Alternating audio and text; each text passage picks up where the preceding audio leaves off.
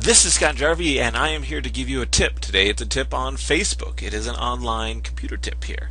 And so we are on my Facebook fan page, which I am now revitalizing, bringing a little bit of new life with this new tip, which is great, and that is scheduling Facebook posts on your fan page.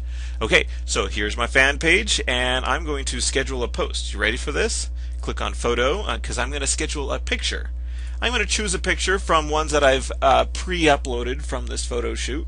And let's find one I like. Um, this one.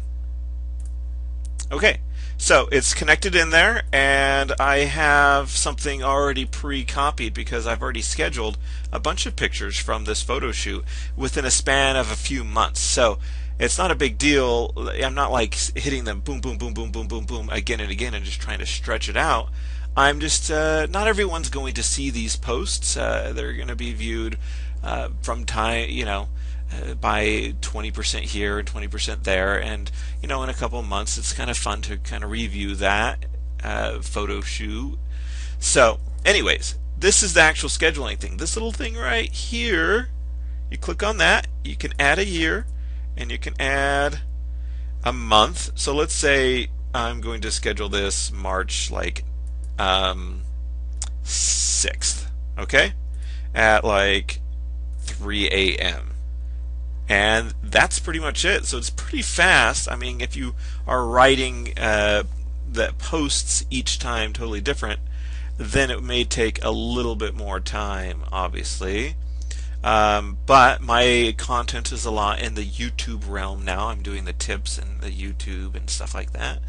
So I've got plenty of content. I don't think anyone's calling me that I'm cheaping out on content. I'm, the content in these cases are my pictures.